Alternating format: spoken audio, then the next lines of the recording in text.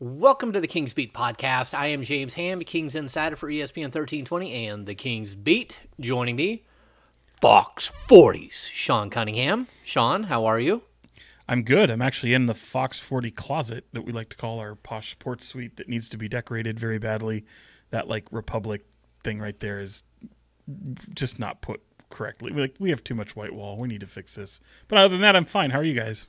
Nobody put Sean in the closet. No, don't do it. Uh, of course, we have uh, Brenden Nunes from the King's Pulse podcast. Jesus. Brendan, how are you? Wow. I'm doing good. Can't help but feel good after after that intro. I really feel like I'm I'm somebody. You're not living up to it, pal. You really need to bring the energy. I, I gotta I gotta match it a little better. Yeah. Fair enough. These are my Federated voices from when I was a kid. Was it Shadoe Stevens? Is that who did the Federated stuff?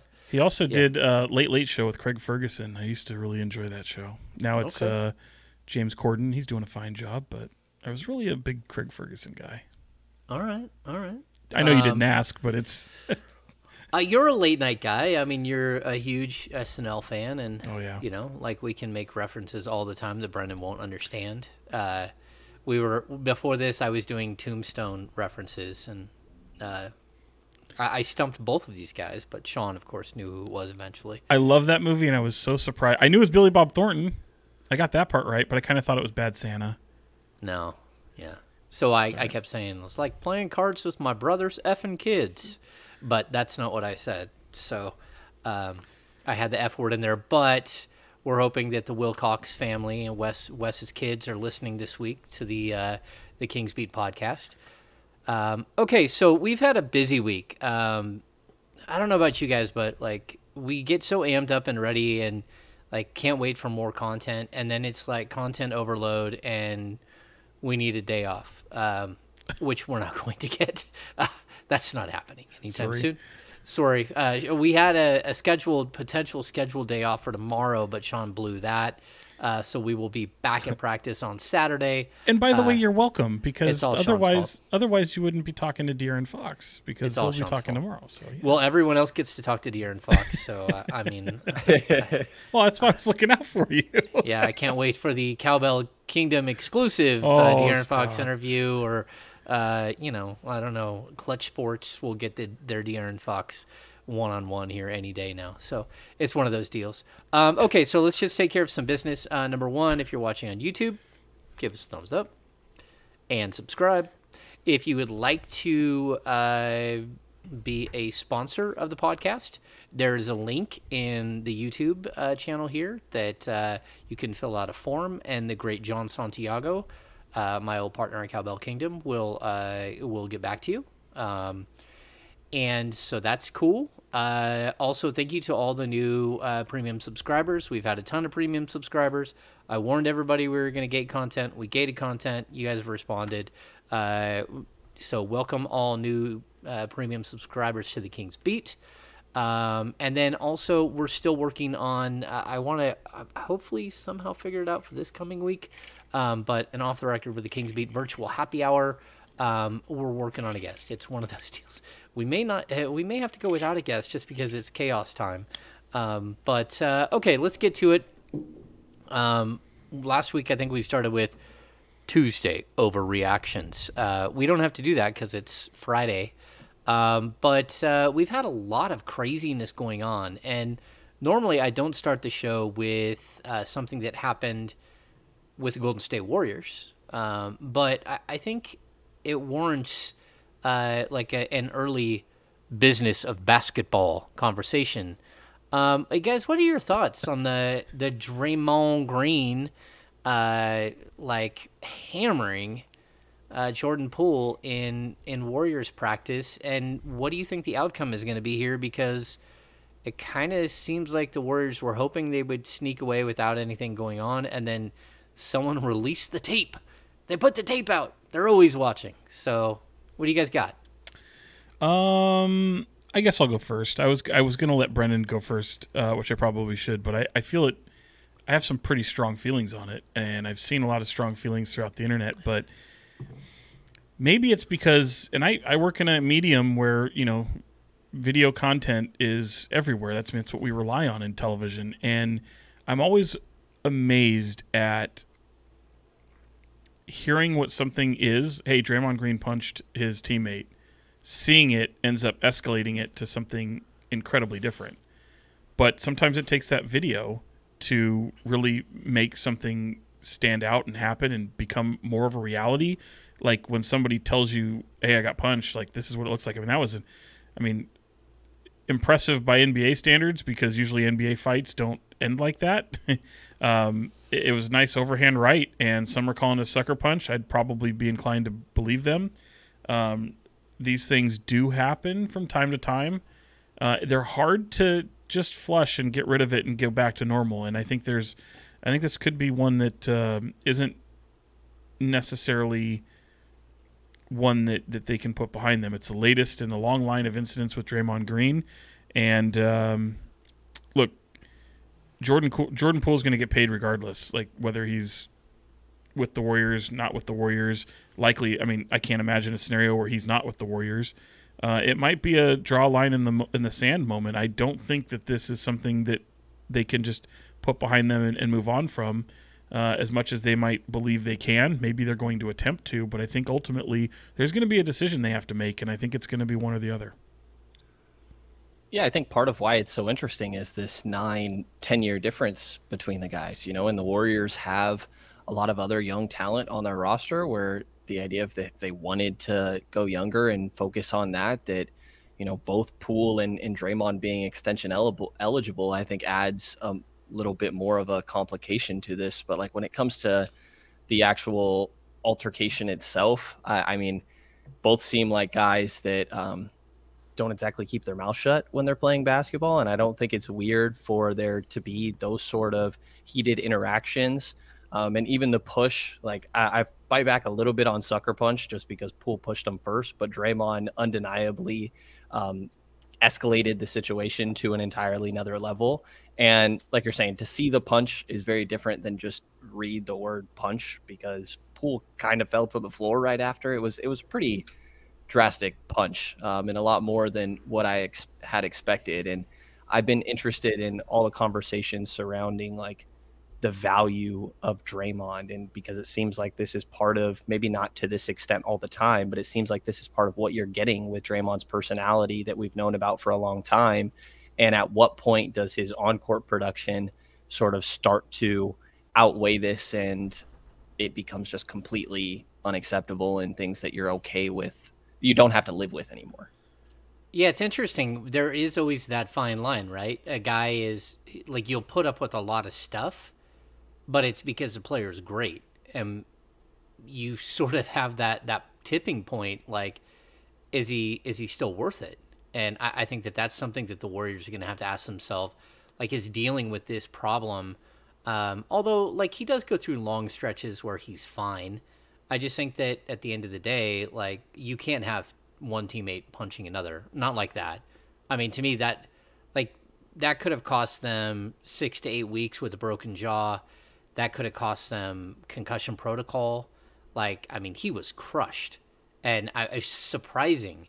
And I mean, I, I do, you know, watching the film, it did look like uh, Jordan Poole like shoved Draymond Green pretty hard beforehand, but like we don't see those punches actually land very often at the NBA level. And I mean, behind the scenes, like there have been plenty of times where like punches have been thrown, even in Sacramento. I mean, during the the Cousins era, everywhere, every team. Uh, before the Cousins era, uh, like there, there, these things happen.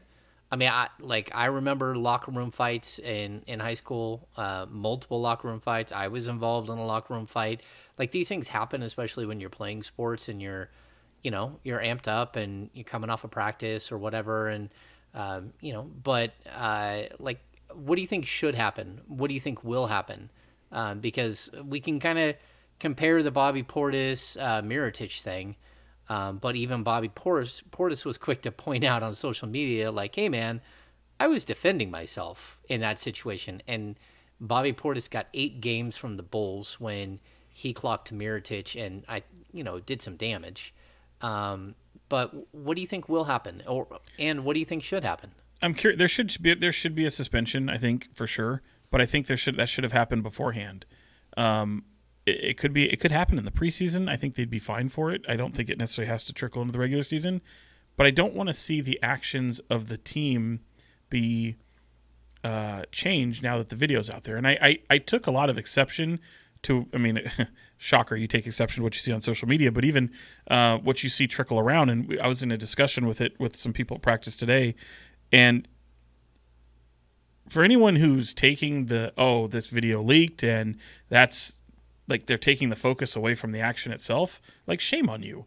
Like like shame on you. The leaking of the video is as a result of probably the way it was handled to begin with someone not liking the result not someone not liking the way it was handled and thinking that you can keep a, a lid on it um like no. Like i mean i, I think it took it, it, that's why you have this leak. And if yeah certainly you can try and bottle up the leak that's in your organization and and what are you going to fire your video department you know I, don't don't narrow it just to the video department could be the video company could be uh, people in the front office could be a member of the coaching staff could be jordan poole himself could be draymond green himself could be a, another teammate everyone has access to this video within the team so um, to, to, to try and narrow focus it to a video department le- leak, that's that's just bullshit. I mean, that's terrible. So, and then to make it turn out like that's more vilified than the actual action itself from Draymond Green is what I really have a problem with. So, um, look, I don't want to make this into something bigger than it is. I mean, I'm not sitting here saying that Draymond Green should be suspended 20 games or 25 games. I think again, the video's out there, but if someone says that if the report is accurate and we don't have video, to me, it should be handled with the same amount of respect as if the video's out there uh, by the organization. So um, I- am curious to see what they're going to do. I know what I would do. I think it would probably be a game or two, and it would be something where uh, it's a hefty, hefty fine from the organization. Um, I'd probably have to make a decision because again, this is the the latest in a long incident, a long line of incidents that have happened with Draymond Green. Uh, I'm, you know, from from what I know, it's not the first time he's gotten into a fight with a teammate. Uh, I'll just leave it at that. And uh, I I really think they're going to have to make a decision with this guy. Yeah. To Brennan? me, a lot of it depends on how Jordan Poole feels about this. I, I can't imagine that he's feeling great or that it was warranted. Um, but you know, maybe he does feel like he ran his mouth too far and sort of understands Draymond's side. Like a lot of it in my mind um, just the repercussion should be a result of like conversations with both of those guys and and seeing where they're at at this point and just a decision that should be made by Golden State themselves and I, I think that a suspension definitely makes sense but I'd be curious to if if I'm the organization kind of see where Poole is at and what he feels like is is warranted and, and just get his two cents not you know totally go with whatever he thinks is best but i'm curious where his head is at after this altercation and how he would feel moving forward. And when it comes to like the video being put out and that may be taking away from the main point of just the altercation itself i think that it is very interesting to me that the fact like the video came out and i think that that can be highlighted as its own interesting thing and another wrinkle to this situation without taking away from the altercation. I've definitely seen instances, a lot of instances where maybe the highlight is becoming the fact that this video exists and got put out, kind of to Sean's point. So it shouldn't take away from it. But to me, it is a really interesting wrinkle coming from an organization that, in my mind, is typically pretty professional. And like that's one of the last orgs I would have expected something like that to leak out of. Yeah. Okay. So I'm going to take it a little different. Okay. First of all, I think the body Bobby Portis suspension length is is probably like in line with what should happen here. Um, and, and I could even see a few games more than that. Um, and that's not because the Kings play the Golden State Warriors on the third game of the season and play them twice in the first nine games, and I think it's three times in the first 13. Um, but I do think that, like, look, there is a like code of standards that have to, like, you have to, like, purport yourself a specific way in order to be an NBA player. And you have to live up to the standards of that. And there are plenty of things in the league that you can get suspended for or thrown out of the league for. Um, but like these are union workers. I mean, it's called a players union. It's because it's a union. They're unionized. And like you don't do that. Like if like when I worked construction years ago, like I don't know if people know this, but if you get in a fist fight above uh, the second floor, if you're on the third floor or above in a construction building, it's an automatic felony because because the risk of death is there because you have you know open walls and stuff. And so like beating on somebody at your place of business is totally unacceptable. I know it's sports but at the same time like there there has to be like a code of conduct. There has to be professional standards. There has to be a a common baseline that we all see. And like I, you guys your point that you know when you see the video it's so jarring um and, you know, like we've seen a lot of these videos over the course of the last few years, uh, specifically with NFL players. It seems like the NFL players always get caught on video hitting people. A lot of times it's a domestic situation. And I think that that cranks up like the volume a lot uh, because, of course, you should never like uh, to me there's there's never a place for domestic violence at all but even this is violence in the workplace and and somebody got crushed. I mean, they're lucky he was up and shooting shots right afterwards, but the fact is like you could have you could have broke his jaw, you could have given him major concussion, you could have done damage to him. Um, and I just, you know, again, it, this isn't his first time being put in this in like this area with the NBA. Um, and I, I, just don't know how many times you got left of stuff like this. This is like to me, it's almost Ron Artest like range. It's it, it's heading towards that range where like look how many times do you get to do this? And I mean the league dropped a hammer for Artest going into the stands, but I, I just like I, it's almost like a defenseless person. That's what it looked like from the video. Yeah, I see that. I mean, it's it's a little. Uh, I, I, I would. I get what you're saying. I would disagree a little bit on that, just because obviously every situation is kind of different. But I, I, totally understand what you're saying, and I, I can also say that as much as like I said, to me it shouldn't take the video to figure out and treat it with the respect it deserves. Yeah. Um, but I also don't think it necessarily has to reach the Bobby Portis level. Uh, I feel like the organization, it, this isn't.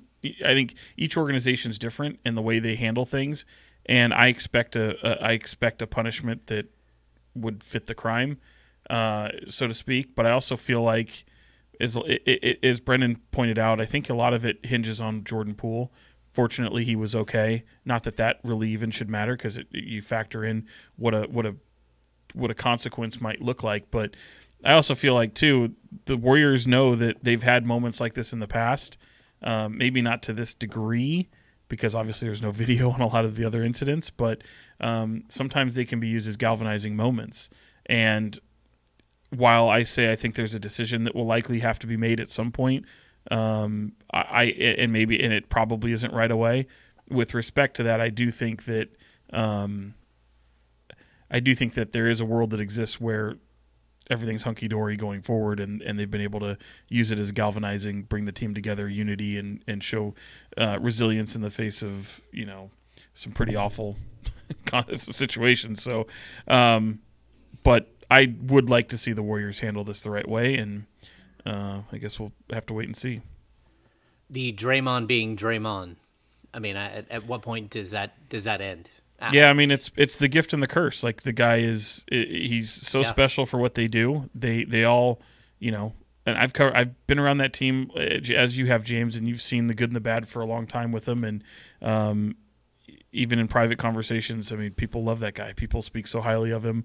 It's it's it's kind of I, I would often get when we had Demarcus Cousins here, and you can have someone who's that polarizing figure and and who you're willing to to put up with the crazy because it leads to success. And I think in Demarcus's case, you weren't a good team. So when you're not a good team and you have those moments, um, that that don't even escalate to the level of punching somebody, but just anything, any little moment that it ends up being disciplinary or a distraction or something like that. Um, it's all how much the organization can tolerate based off the success that they've had.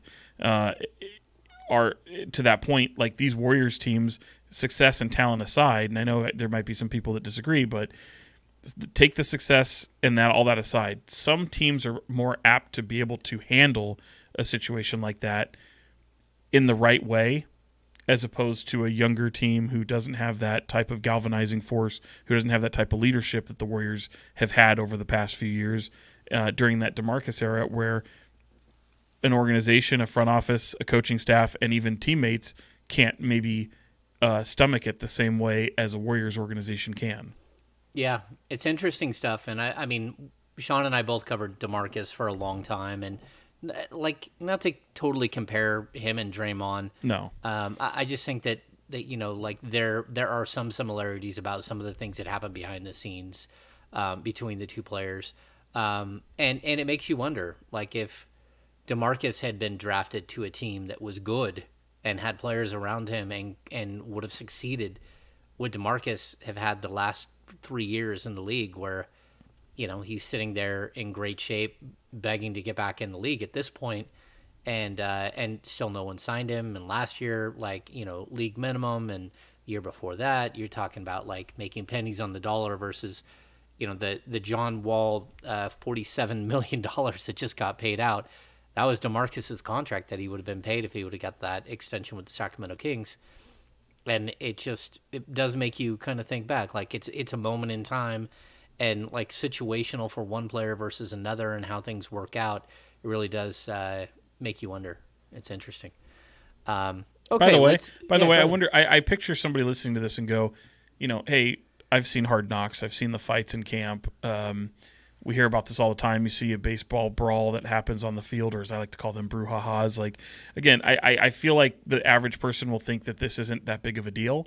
Um, and I understand that because I don't necessarily treat it as the, the biggest deal either. But I think it just happens to become what what in lies with the Golden State Warriors as it pertains to Draymond Green because it's the latest, like I said, in, a long line of incidents. So um, ordinarily, I'd be the guy saying, like, if that was Jordan Poole and say Klay Thompson, whatever, you know what I mean? Like, yeah. It, it, it, at that point, you just you know those are just guys being guys, whatever. Like it's it's it's different at that point. You still you still have a, a consequence to the action. Don't get me wrong, but when it's like, okay, this is Draymond Green again, it's like every year it's Draymond Green doing something, and I'm a huge Draymond Green fan, and it's part of what makes him such an interesting figure as a leader on that team. And and you can talk about whether whether you know the team was better with or without him last year. I get it, but I, look, I, I, I fully I fully uh, anticipate Draymond Green to own his actions and say the right things uh, in an entertaining way. It doesn't take away my amusement of Draymond Green or how great of a basketball player I think he is. So um, I just feel like there there comes an enough as enough uh, moment, and maybe this is it for the Warriors. Yeah, it's interesting. Go ahead, Ray. Is there is there anything you guys can draw back and like compare this to? Like I, I know Malik said today that he hadn't quite said anything like it seen anything to that extent. Mike Brown was kind of not kind of non-committal on uh, any comments on this situation. But is there any sort of like parallels you guys can draw?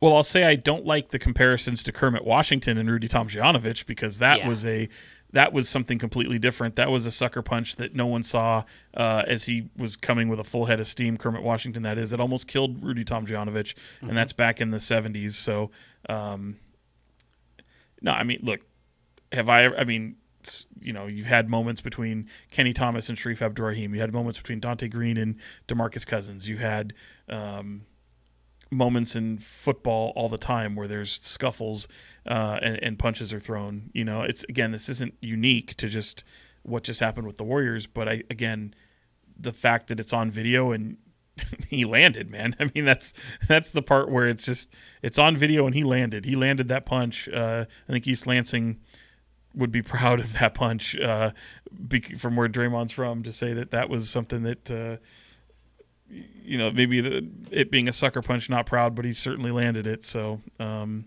yeah it's Dray- Draymond's like, that dude man. it's almost like the uh, if Shaq would have landed the punch on Brad Miller oh boy. um, that would have just I mean uh, who knows? I mean Brad Miller could still not be awake um, that was that was violent, uh, but it didn't land. So this one did, and its teammates. And you know, I, I think that that's one thing. Like, have we had some of these situations behind the scenes in Sacramento? Sure. Like the the rumors and the murmurs and what we know that we're not going to report because no one would uh, go on the record and stuff like that. There are plenty of situations that have happened in Sacramento, you know, um, especially during the Cousins era, whether it was Cousins or it was others, um, but typically surrounding Demarcus. But um, yeah, but I don't think it was anything like this where we heard it was like a violent shot, like a um, maybe you know two guys doing fake fights in the. Uh, that's a lot of NBA stuff. Is like the fake tough guy stuff that never actually like evolves into an actual punch being thrown. Um, Hold me back but- stuff. Yeah, yeah, that yeah. Well, I'm gonna get you. Hold me back. Yeah. Uh, somebody hold me. Yeah, wait, wait, please. Somebody hold me. So it looks like I'm doing something. Um, yeah, there's a lot of that. Uh, so yeah, I, I don't know. I mean, like in the locker room with the Andy Furillo situation, where clearly Cousins wasn't gonna throw a punch, but was angry. Um, but those, you know, again, I, I don't think anything like that where we can say, oh yeah, that looked very similar. We at least don't have footage of it. That's what we don't have. We don't have the footage, which is, I think, something that um, that changes this one a little bit. Um, that that takes us to uh, practice today. Uh, Brendan and Sean and I all went to uh, training camp. I don't know, even know if it's still called training camp at this point. It was training camp at one Yeah. point. Uh, That's that's, that's accurate. I think training camp is officially only like five days or something. So whatever we're in right now, it's just like the never-ending barrage of training camp. Um, but uh, we were able to ask Mike Brown. Uh, Sean and I both were kind of asking him about this situation, and he skated it pretty pretty good. Uh, he he was like you know dodgeball, dip duck, what dip duck dodge. Dodge, duck, dip, dive, and dodge. A movie reference that I knew. There we go. Go ahead, Brendan. Why, Would you share with the that? class. This is So this so is what great. did you what did you think with uh, Mike Brown? Like First of all, reference the movie though. Dodgeball. There you go. Dodgeball. Okay. I got you there. Dodgeball. Alright. No, yeah, I think most Kings games should be on the Ocho. the Ocho. But Bold strategy, Cotton. Yeah, and it's hilarious watching that back. Just real quick, seeing that that broadcaster is the main character from Ozark. Just His name is totally Jason different- Bateman, and you can put some Jason respect on his name. I don't Bateman, know man. actors' names. He was guys. Teen Wolf 2. Come on, man. Wow, Come on. I gotta learn these. names. That Actors' actor. His sister is Justine J- uh, Bateman from Family Ties. Come on. Come on, Brendan. Eventually, I'll learn actors' names. There's different steps. First, I'll learn different movies, and we'll eventually get to the actors here. Oh, that's priceless. He- Go ahead, finish your the thought now. commentator is from Ozark. Jesus Christ. When it when it comes to Coach Brown today, um, I mean, you guys were the ones asking the questions, so tell me if there's anything that stood out to you guys. But to James's point, I, I thought he kind of just skated around it pretty well and said that that's something that they should deal with within their organization. And I don't know all the details um, and inner workings of it, and and sort of just left it at that. And we haven't dealt like, like we haven't dealt we being him and the Kings organization haven't dealt like with anything like that during this camp or anything. So that's something that they're going to have to deal with.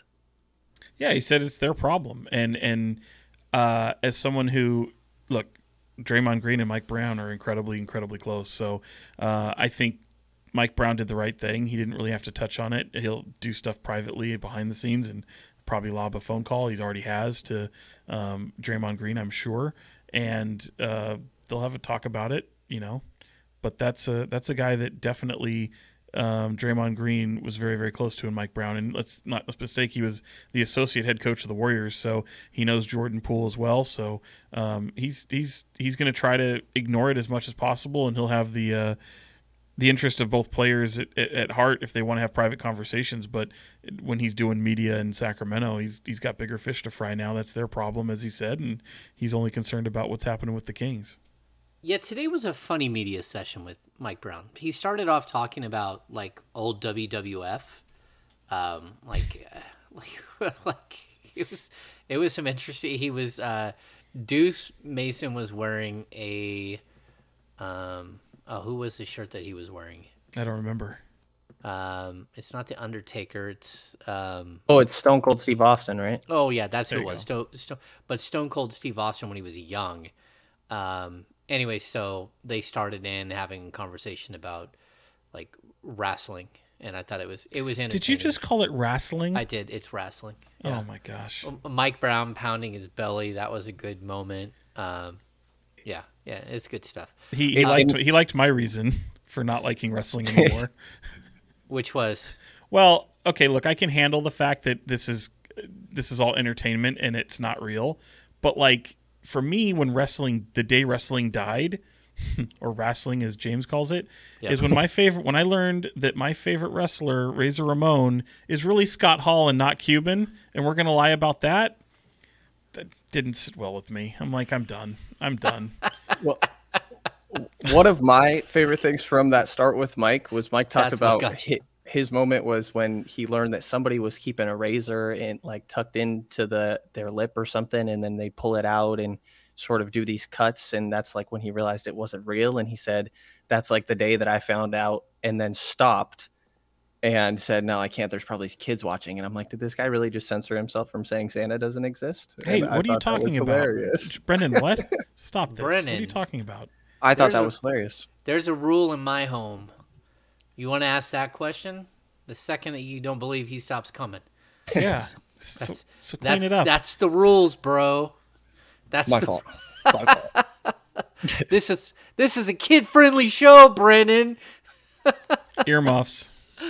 I, I thought uh, that Mike Brown's like he shifted so quickly because okay, so we were at practice. They, I kind of feel like maybe we're in like a weird high school musical where the Kings keep doing stuff on the court to after they let the media in to like show us like oh do you see this is happening so today it was they brought out uh, Mark, one of the the NBA security guys, and um, Lucas. and what and Lucas, one of their trainers, and they sing "Happy Birthday," but the whole group, and they made the young guys sing, and um, All the new people in the organization it appeared. it's a lot of kumbaya moments here that we're seeing, and whatever we see, uh, like I'm starting to like look around, like, are we on can camera?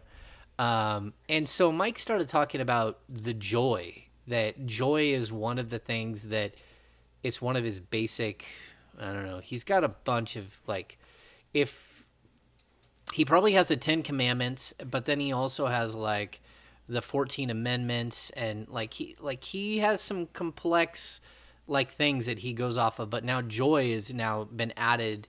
What did you guys think about like finding joy and being part of like embracing like being on the basketball court and enjoying yourself and um and that's kind of his response how he got away from the Warriors talk and back to Kings talk.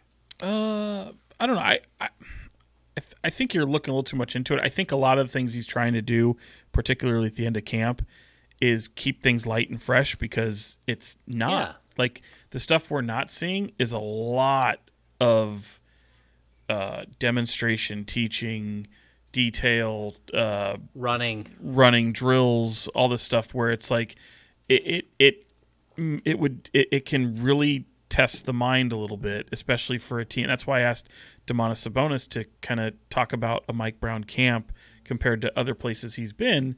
Uh, I mean, he had Rick Carlisle, you know, like guys who who are similar, but he talks about just how much they work and how much that the practices aren't um, like today they didn't like today mike made a uh, coach mike made a really good point yesterday of saying that today's going to be a uh, a hands off day a lighter day. It's not we're not going to beat each other up.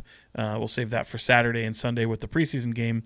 Um, they were going to keep it light. They were going to do non-contact. They were going to do a lot of just drill work and that can get tedious. And uh, you know the, I, I can see the person listening to this podcast and go no shit that's your job. That's why you get paid so much money to do these things and and you need these. But it's like this team in particular you're creating not culture but really just really strong work habits and these are things that Mike Brown is going to expect and that's why I was talking so much about why I feel like he's the right coach at the right time for this team because of how old school and detail oriented he can be so um but not everyone just takes to it like a duck to water that's for sure Yeah.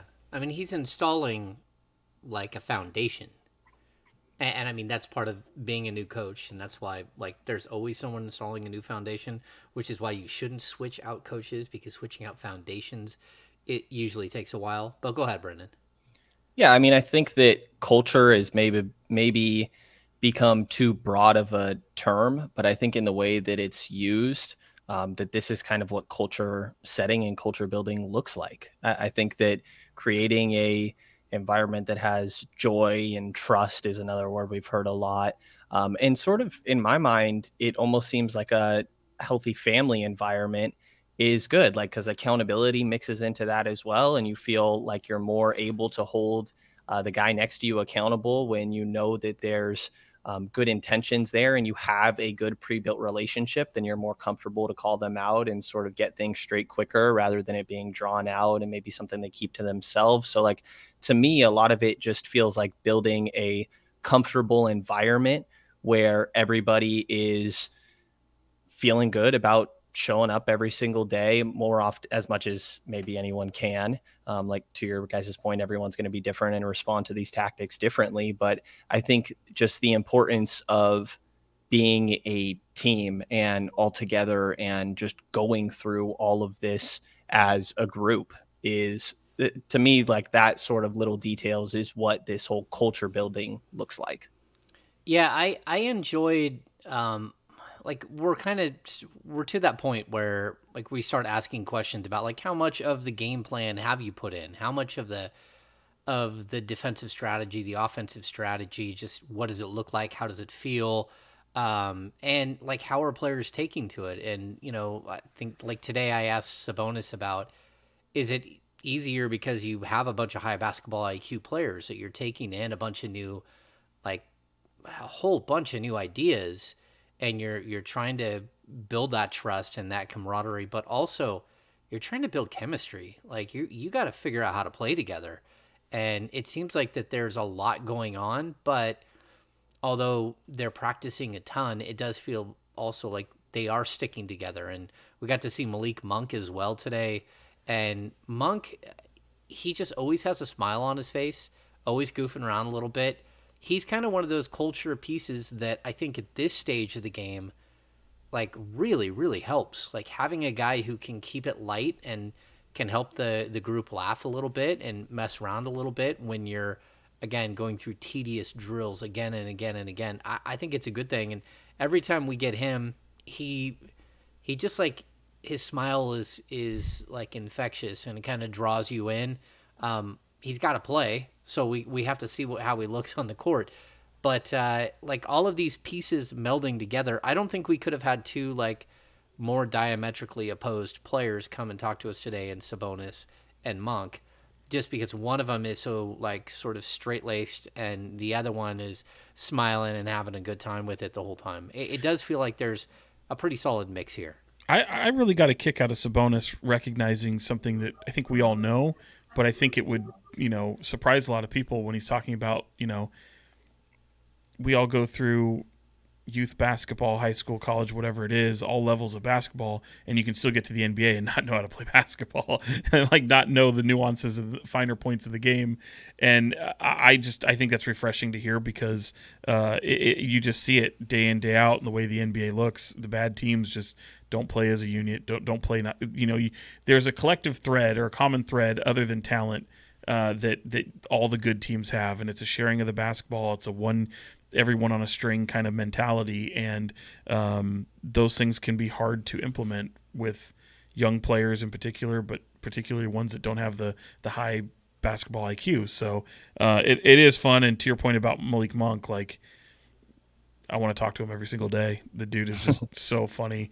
Uh, I love the fact that uh, if you follow him on social media and the stuff that he had with Anthony Davis and the comments that Anthony Davis made after the uh, uh Lakers lost to the Kings on Monday, um, it was hilarious. They were there was some harsh uh, words with some profanity in there that we don't necessarily need to say and and then there was a double down on uh, what Malik Monk put on social media so I just I literally had to go hey y'all are good right like like I'm I think I'm picking up that this is all in jest and in fun and, and leading people along but it certainly made some headlines out there and about the, what Anthony Davis said and what how Malik Monk reacted to it as former Laker teammates last year, and he's like, "No, no, we're good. That's just how he misses me. That's how he says he misses me." So it was. I, I got a kick out of it. I thought it was hilarious. He also said that they talk almost daily. Yeah. That that they they text back and forth or or talk on the phone like every other day, um, and and that they're really close. Now, Brennan, was it you that asked um, Monk about?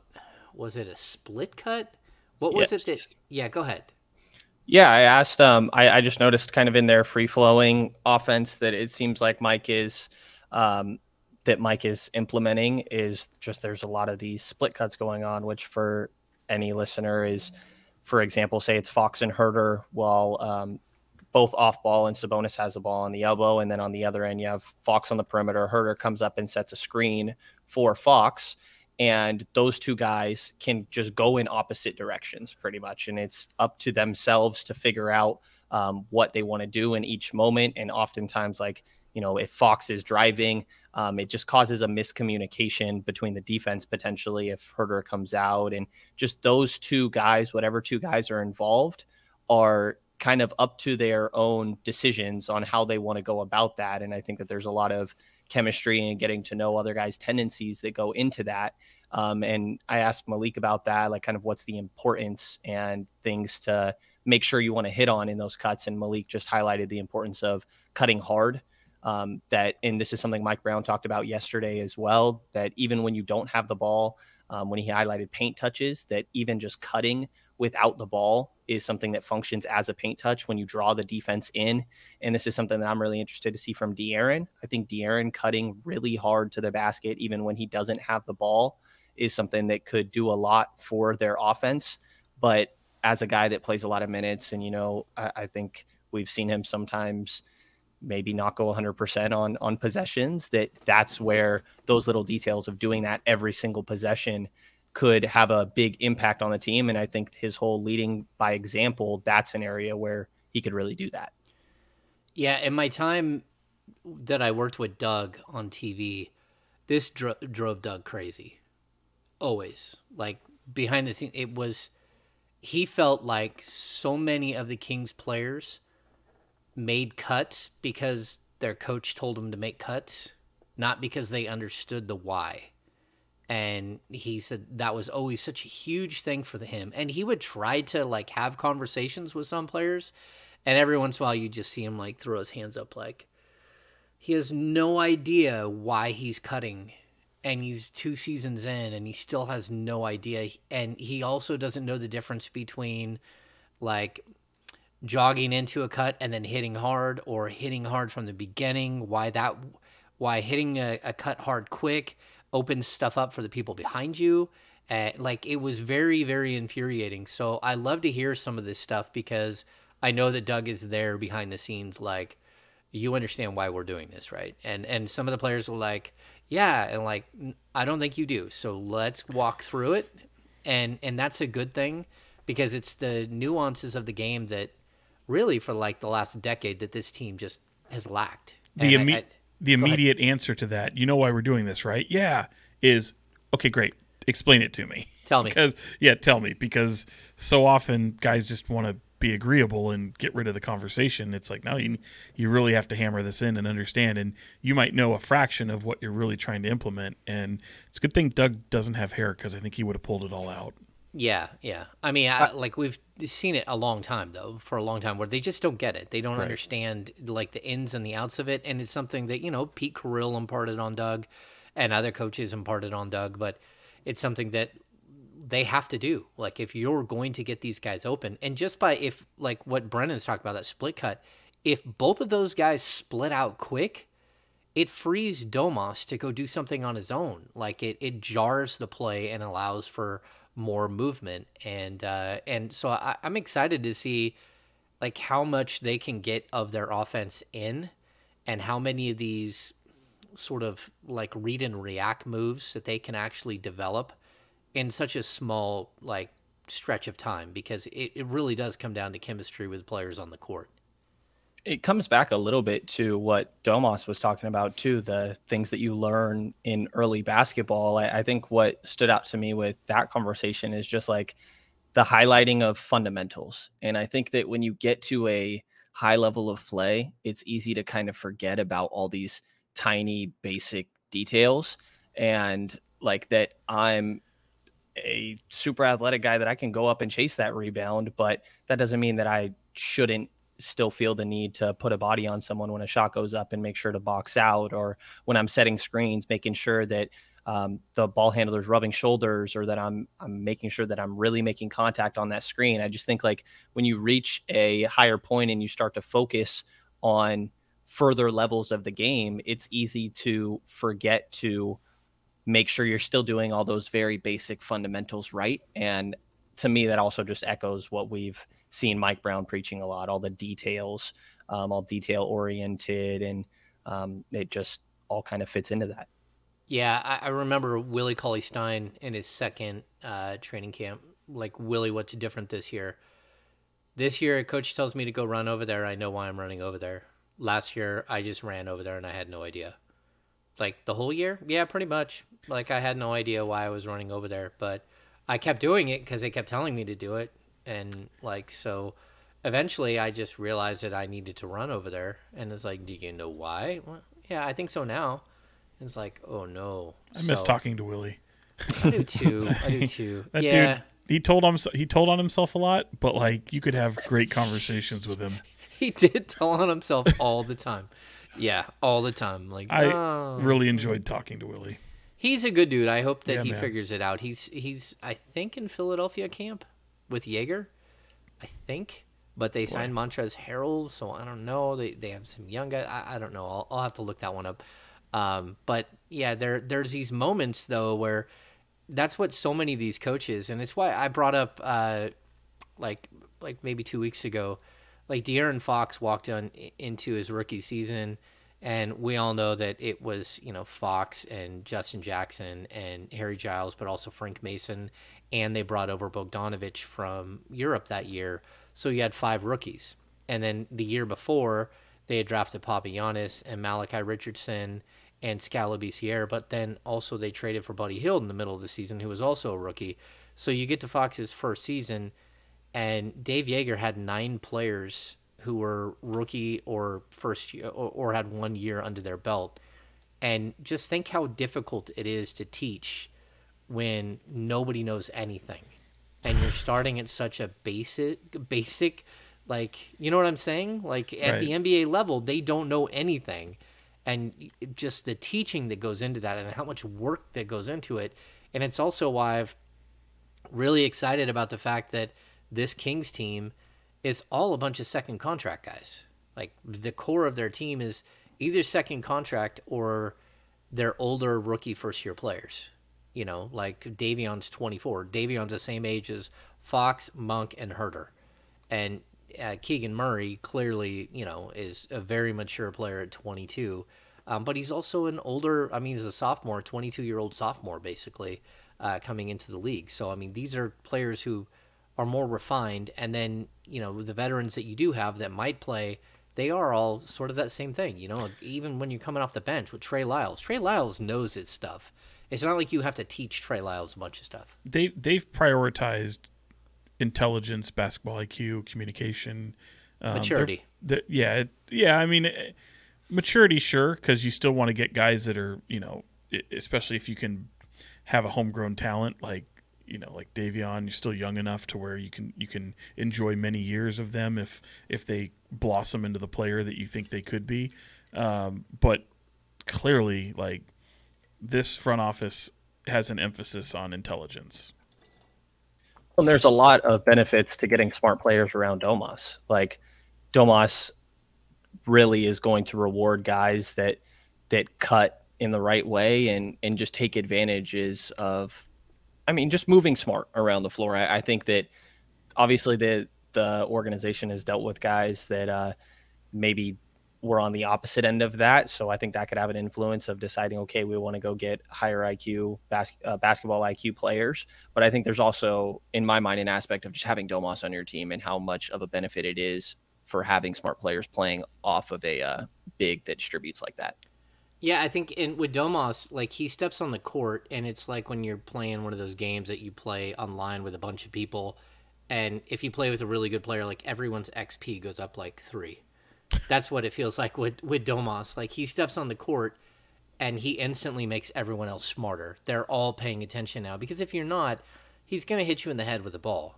You know, he's he's gonna be active. He's gonna throw the ball around. He's he's waiting for smart players to make smart plays. And yeah, I do think that this team, you know, at, at a minimum, we're gonna see that.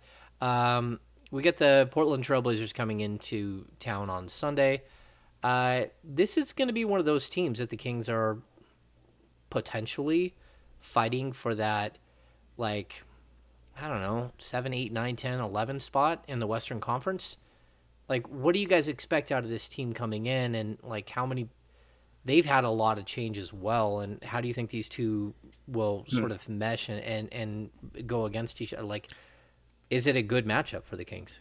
You're opening up against this team on the 19th when you open your season, so Yeah. I don't think you want this to look like a dress rehearsal. I know some people would maybe like it to be, but as Mike Brown talked about, like even today, I think there was some uh, nuggets that we got in the fact that I think we we had all assumed and knew that Kevin Huerter would be the starting two guard. That looks Yeah. like that'll happen. Power forward still obviously up in the air. I don't uh, expect necessarily KZ Okpala to, to, to start as he did on Monday in LA. Um, so we could see a different starting uh, player there. although, although, Although all week long we've seen KZ Okpala working Right. with the starters all Correct. week long. Go correct, ahead. and, and I also think too that uh, even if he does, you know, like even if he does, it's still a feeling out process. And what Mike Brown said today, which was, uh, although earlier in the week he said he's not going to go play all 20 guys, he'll play more of like maybe 15, won't go nearly as deep. Um, but he's expecting to have roster cuts made uh, after the second game, the first round of cuts. Um, we'll see the, the roster be trimmed up a thought he bit. said he so wanted to see one or two more games. yeah, it's, I'm saying after this one, at least after the the Sunday game. Like it, it could be one, it could be two, but it's definitely going to be after this Sunday. So um, it, it's it's a matter of, in my mind, to getting. I feel like I think these cuts could come relatively soon because I think you want to have as much uh, practice, rotational, all these things done, um, and make most of the days that you have in front of you without a bunch of guys still in camp that may may not be here. So uh, maybe cut it off at the at the at, you know cut it off immediately, and then kind of make the most of the of the of the of, of the remaining week or whatever of practice time that you can get with another game or two remaining on your schedule and I don't know that you'll fully see the, the the dress rehearsal in the starting lineup and see that trickle over. You might see it in different spots within the game uh, at some of those rotations, but uh, I'm I'm looking forward to it. Especially, I'm, I'm actually really excited to see what the stands look like.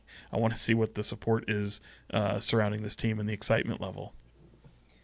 Yeah, selfishly, when it comes to who we see play next game, I want to see the guys that I feel like are up for debate in my mind in the rotation. Like, I, I would love to see more Moneke to get a little bit of a better idea of what he could potentially bring. But obviously, the organization and coaching staff have had a lot more of an opportunity to get a look at Moneke and these other guys um, than I have. So I think it's just a little bit more of a selfish thing that I'd like to see him in this system a little bit more. But if they were to decide to cut anybody at this point, I, I think Sean's point makes a lot of sense. Um, we are officially at the point where I'm probably putting too much stock into all these groupings that we see at practice because I feel like it's a trend at this point. And, you know, we've seen that like today, they were doing uh, this three point shooting drill all in groups of five. Um, well, I guess it was groups of one had a group of four because it looked like Richaun Holmes still wasn't there, wasn't at yesterday's practice because of a uh, like a stomach bug or something like that, right? So nothing too serious, but I didn't see Holmes out there today either. Um, I don't know if you guys did, but I did not. But the I groupings, looked, I looked yeah. back at the film and I didn't see him. um, but the groupings we've seen are, are Fox Huerter, HB, and KZ with Sabonis in that first group. Um, the second one that we've seen is Mitchell, Monk, Murray, Lyles, and then usually Holmes would be there, but it was Len today. Uh, the third grouping is Delly, TD, Sam Merrill, uh, Chimezi Metu, and then typically Alex Len would be there, but they had someone from their training staff fill in that spot today. And then the fourth grouping is Quinn Cook, Keon Ellis, Kent Bazemore, Chima Moneke, and, and Neemias Queta. So just saying, I'm officially at a point where I'm probably overreacting to these because it feels like a trend. Well, and to that point too, these these jerseys are reversible. Um, some of them, you know, again, you just you throw them on, you can switch them out. I think it's it's by the time yeah the media is let in, this is what you're looking at. Um, I don't think they're trying to use smoke and mirrors by any means, like trying to pull a wool over anyone's eyes, but I think those are the groupings that they like based off of positions. Um, if you look at a depth chart, you might have certain guys a little higher than others, but like yeah, like Sam Merrill being ahead of like your two way players, probably not. So it's just strictly positional. Yeah, I, I think the the Merrill stuff to me real quick, like, you know, I don't think that I'm not taking O'Merrill being in that third unit means he's for sure over Bazemore or Moneke. Right. Like I think there could be an aspect of maybe you need Sam Merrill in that group because if you put a Moneke or a Bazemore, all of a sudden there's no shooting in that lineup that's functioning together just when it comes to these practice drills, and you just need a shooter in there just for the functionality of that lineup. So I think there's definitely different things that factor in, but just seeing these same pairings a lot, I feel And like. and a lot of the five on five off is typically what'll happen in different scrimmages. So you'll have you know maybe you go one through you first to five here great winning team now plays this this here comes on the next five almost like these hockey substitutions line changes. Yeah. Yeah. Um, I I think it is interesting that we're kind of seeing the groups staying together for like the whole week. Um, again, I don't know what that means. I, I think basically we do know, like there is kind of a set ten, and then we know that Alex Len is like the third string center in case something happens, and then there's probably like two or three guys in that that third unit that are still in some sort of conversation for playing time and it's just going to be situational. And that would be, you know, guys like Chimezi Metu, Terence Davis, um, maybe Moneke. But I'll also point out that I think that there's a good chance that, you know, if if KZ Okpala isn't in the starting lineup, he could not be in the rotation. That it could be someone else, and that if you know, again, uh, they really like what's happening in the second unit with Keegan Murray, it's possible that Keegan Murray doesn't move up into the starting lineup, that it's someone on the back end uh, that's in that, you know, 11 through 15 range that moves into the starting lineup while KZ Okpala moves back.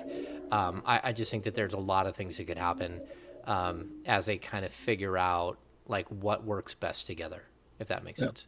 Yeah, and Mike Brown said today when it comes to the four, like tonight we might need this, tomorrow we ne- might need that. Um, we heard him say Keegan can play two to four in a way that he thinks, but it's just all matchup specific, right? And I think we heard Keegan say the same thing when he got asked about his position. It just depends who's on the other side of the floor, and that's where I'm a little bit curious with like Portland. I think these are two opposite sides. Where when you're talking about the Lakers, you're talking about LeBron, AD, and D, and D Jones. When you're talking about Portland then your your three in the front court are Josh Hart, um, Jerami Grant, and Jusuf Nurkic. So is this a, a time where maybe you don't need the same length and defense that KZ brings, and then maybe you can look towards Keegan? So to, I think it's been interesting. If we've heard a lot about it, depends what's on the other side of the floor. Yeah, it should be intriguing. Um, all right, uh, we're gonna close this down early tonight. Uh, Sean has to get to high school football. Uh, we probably should have done a live show, but like timing fault. these things, coming back, it's not all that easy to figure out. Um, we did the business business of basketball is more of the um, the stuff at the beginning of the show with Draymond Green. Um, but uh, Brennan, do you have any final thoughts? What do you got for us? Um, I don't know if I, I don't know if I do. I'm hoping that we see Fox and Sabonis staggered a little bit more. Um, I hope that's something we see throughout the course of what do you mean you want to see him drunk well. or something No, staggered in the oh lineups. i see what you're saying Come on, Sean. Um, Not like staggering around like Sean and I will be later. no. oh definitely no, but that's just me trying to find something for a final thought. I don't know that I have much. My Sean? final thought would be uh, had a cool moment with uh, De'Aaron today. He wrote in on a uh, Sac Metro this cancer engine. Sounds terrible, but it's a fire truck painted blue and pink for breast cancer and prostate cancer awareness uh, with Sac Metro, and it's like Kaiser and I'll Be Aware, uh, which does a lot of like his mother, who's a 20 year breast cancer survivor. She just hit her anniversary, and he he surprised some cancer survivors uh, through I'll Be Aware with uh, tickets to an upcoming game, and they were very happy. like I just put it that like as you as you can imagine, but like to see someone like that smile, as my buddy Eric Rucker just walked in. Um, he's an avid listener to this show. There he is. Look at that handsome devil. it's not awkward. um, but no, to see to see like cancer survivors smile, like it's very personal to De'Aaron. Obviously, with his what his mother's gone through, uh, that was it's just really cool, man. I love that stuff. So yeah, we'll be seeing them. Uh, I believe Friday. But yeah, he got to ride in on the fire truck. I was a little jealous of that because that fire truck looked awesome. It's incredible. Yeah, uh, De'Aaron's mom, early, like very young, when she Yeah. caught breast cancer, and I believe her sister uh, also caught breast cancer very young and did not make it. Um, and uh, so it, it's something that's in there uh, that that weighs heavily on their family, and that's what's the Fox Family First organization. So yeah, De- De'Aaron does some good stuff uh, off the court with, when it comes to breast cancer awareness. Just because I mean he lived through it, he lived through it with his mom. Um, okay, I'm gonna mention. Uh, I mentioned this on No downers. No, don't lead us no, on no, a uh, downer. on D'Lo and Casey. I, I think I listened to this. Hey, um, the uh, King's Film Room uh, Twitter account. Um, I thought that they did a really interesting job of breaking down some of what we saw from Mike Brown's um, from his stuff from his first game and sort of how you could see the offense grow. Uh, so broke down possession by possession on the offensive end. Um, so if you guys have a chance, like, look, there's a bunch of people out here that are doing really good work right now. I know like Will Z uh, is like the stats guy that's popping up stuff all the time. Um, there's there's a, a lot of people that are out there doing good work. So um, give it a look, just because it's intriguing to kind of see it for yourself, broken down into small, like digestible pieces, and so you could start to get a feel for what a Mike Brown offense would look like. I want to see more pick and rolls. Um, I, I know that's something they want to go away from, um, but like that stuff is some tested, time tested, like valuable stuff that I like to see on the court, especially with Sabonis and Fox. Uh, I do like the read and react. I, I do like a lot of what their their free flowing motion offense and stuff. Um, but yeah, this thing hopefully will get put together pretty quickly. Um, we'll be back uh, next week. Um, we're gonna try to do one live show late. Um, we'll also try to do a happy hour next week. Um, I've got to figure that one out still, um, but it's about timing and dates and all that stuff, and and guests and their availability. Um, outside of that, thanks for tuning in to the King's Beat uh, podcast. Uh, make sure to give us a thumbs up. Make sure to give us a subscription. If you're listening on iTunes or wherever you're listening, uh, give us a rating and review. That always helps us. Uh, and if you like the content that we create here at the King's Beat, jump on board with the premium subscription to the King's Beat, uh, kingsbeat.com. And uh, it's seven bucks for a month or 75 bucks for a year. It's a good deal. You get access to all the content that we create. Uh, and uh, we'll be here all season long. So for Fox 40s, Sean Cunningham and Brenden Nunes from the King's Pulse podcast. I am James Ham, King's Insider for ESPN 1320 and the King's Beat. See you next week.